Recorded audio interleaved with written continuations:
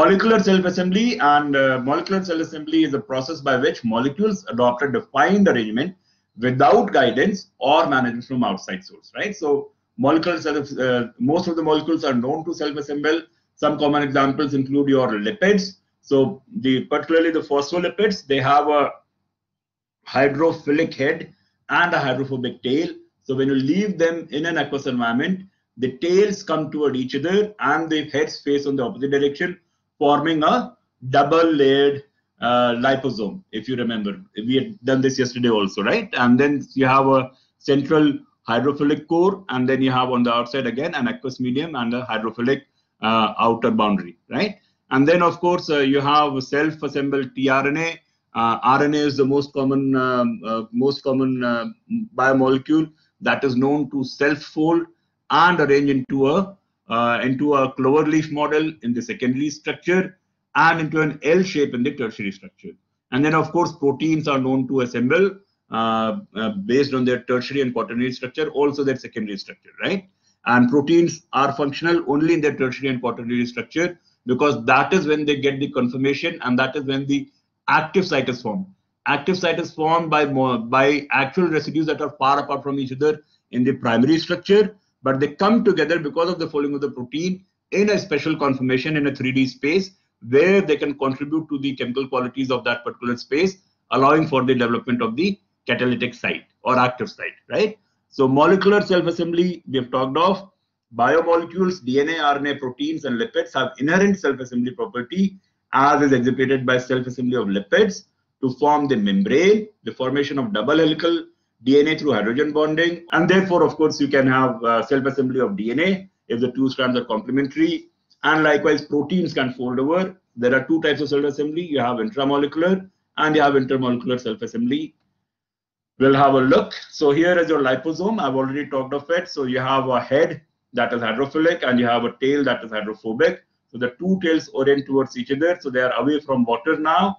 And the head, which is hydrophilic, is forming the outer boundary and the inner core, where again in the center you have the aqueous medium. So this is your liposome. We had talked of this earlier. And if you remember uh, also, uh, phospholipids are very important part of your uh, of your plasma membrane. The cell membrane basically is a lipid bilayer. Fluid mosaic model was given by Singer and Nicolson. So uh, molecular self-assembly of DNA, if you see, so adenine and thymine, cytosine and guanine, they come together. And then of course, there is this phenomenon of nucleic acid hybridization, where two complementary strands running anti-parallel to each other would find each other and bind with each other. And the size of this DNA need not be essentially the same. It could be a one longer DNA, DNA like the genomic DNA. And this could be your PCR primer. Primer would be around 18 to 24 bases, right? And genomic DNA, if you're taking human, it would be 3.20 to the power 9 base pairs. Uh, if it is uh, bacterial, it could be around 5 megabases or something, right? So that is the, the whole idea. So nucleic acid hybridization is an example of self-assembly where two strands that are self-complementary and are anti-parallel will find each other and bind to each other, okay? Then, uh, of course, we talked of principle of base complementarity is used in southern blot, northern blot, CRISPR-Cas, and the answer was all of the above, if you remember. Uh, in all these cases, we are using the principle of self-complementarity or base complementarity between complementary strands, right? So you're using the principle of hybridization uh, for this here. Then we move on and we talked of this also, molecular self-assembly. The most common example of a nucleic acid folding over itself to form a functional molecule is, is plus no, not mRNA, transfer RNA. All right, so we move on. So molecular assembly of proteins, if you see, you have a primary structure, which is basically starting from the amino terminal until the carboxy terminal, the amino acid residues. We call them amino acid residues because you have no water. The uh, one molecule of water is lost between when a peptide bond is formed. So you have amino acid residues here. Then they would fold into the secondary structure. Secondary structure could either be a alpha helix or a beta sheet and then these would fold further into what is known as a tertiary structure and then two or more polypeptides can come together and again impact each other in terms of folding forming the quaternary structure all of this happens in cell regularly and at all times right this is happening in cell at all times and very regularly at nanoscale, we are only beginning to see this now and notice this now, right? So therefore, uh, cells are basic nanomachines by themselves. So quaternary structure, and then of course, for some proteins, you may require to have a chaperone, which may assist them in folding. So there are two approaches of making nanostructures. One is to break down the bulk material into smaller fragments and further smaller fragments into the nanoscale.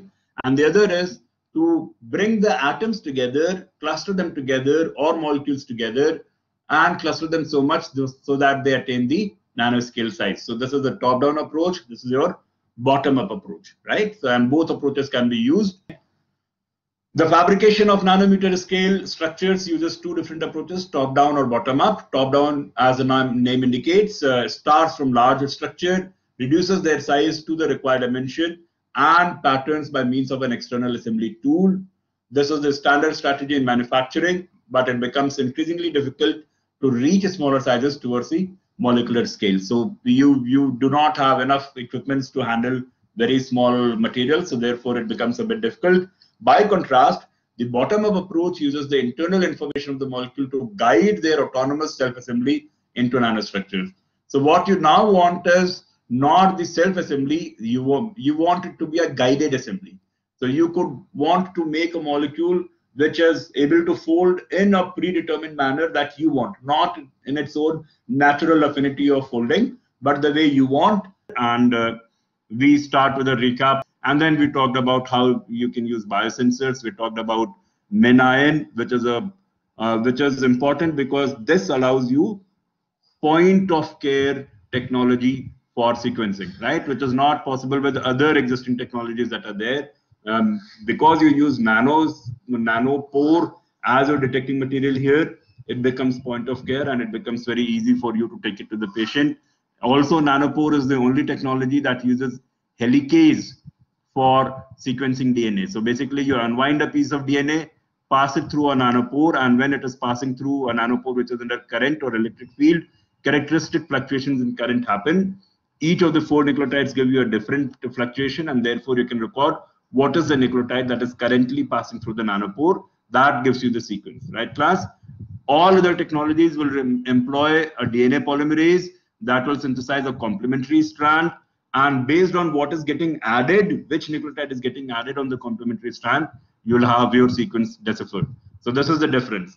Then in transducers, I've already told you the first interaction happens between the biological recognition element and the analyte, the biological material that you want to test. That is the first reaction. Then this reaction is quantified and converted into an electrical signal by the transducer. This is amplified and then displayed. All right, so this we have done, and we had talked why biosensors are why nanobiotechnology is becoming very important in uh, in biosensors because it has higher specificity. We have talked of quantum dots earlier. It has higher sensitivity. Again, quantum dots are example. Miniaturization, it helps you uh, uh, bring down the size of the machine to such a small proportions that it can be easily ported from one place to another place. Therefore, uh, it can be used as point of care and greater portability. All right. So then we move on, and we had talked of this in the last lecture also. So if you see, biomolecules are, are known to self-assemble since a long time. And what we want today in nanotechnology structuring is that we can guide them into take specific structures and functions. So there are two ways of assembling biomolecules or nanostructures. One is the top-down approach where you start from the bulk material break it down into fragments and further fragments, giving it the nanoscale and stopping the reaction where the nanoscale that you want, the size that you want is achieved. And then the other is where you can start with the atomic level, which is the sub nano range, cluster them together into the nano range. And then again, once they are in the nanoscale, nanoscale range, you can stop the aggregation, therefore allowing for a specific nanoparticle of a specific shape and a specific size right? So this is your bottom-up approach. This is a top-down approach. Then, of course, what we normally do when we do a structuring or when you make a nanostructure is we do what is known as a guided assembly, where you want to, you know, curb the natural tendencies of the molecule to to fold the way it would have normally folded and allow it to fold in a very specific formation that you want to guide, that you wanted to fold it in a particular specific way. So what you do is a guided uh, assembly and not their autonomous or self assembly is not something that you want, right? What we want now is can we use biomolecules and Legos to create a desired nanomachine? This desired nanomachine will have a specific structure and a specific function is what we want. And what do we have as Legos in our hand? We have four nucleotides which are coming from your DNA, and then we have 20 different amino acids which come from your proteins. And, and the advantage with using DNA as your uh, starting material is that you know exactly how it is going to fold. You can you have a lot of prediction power because you know it is going to follow your base complementarity rule. So A pairs with T, C pairs with G, and therefore, given a primary structure of a DNA, which is the sequence of nucleotides, you can very easily predict what is the secondary structure it is, it is going to form if it is allowed to self-assemble or if it is allowed a guided assembly where you obstruct certain regions from folding using what is known as staples and we'll come to that in a moment. Then of course you have 20 amino acids and then again you can have a primary structure where you know the sequence of amino acids now to predict how this is going to actually form into a secondary structure tertiary structure and quaternary structure is a lot more difficult because it is not as simple as base complementarity here. There are many things that play a role in protein folding, and therefore this gets a bit more complicated, and therefore you lose your power of prediction here. But then, of course, because you can replace 20 amino acids instead of four for a given length, this can give you a higher functionality. If you make a protein nanostructure, it can have a higher and more diverse functionality as compared to a DNA nanostructure of the same length. So let's say you are making a polymer with 10 units so for here, you'll have only four nucleotides per position. Here you can have 20 nucleotides per position. So a lot more possible structures can be made here and a lot more primary structures would then give you a lot of lot more functionality. But then the important difference here is that you cannot predict how it is going to fold. So you cannot really guide the assembly here. The guided assembly is slightly more of a problem with respect to proteins, but a guided assembly is very easily achievable in case of DNA. So biomolecules that can be used for nanoassembly, you can have DNA nanoassembly, you can have protein nanoassembly, and you can have DNA protein hybrid as nanoassembly and applications, of course, we'll look into this.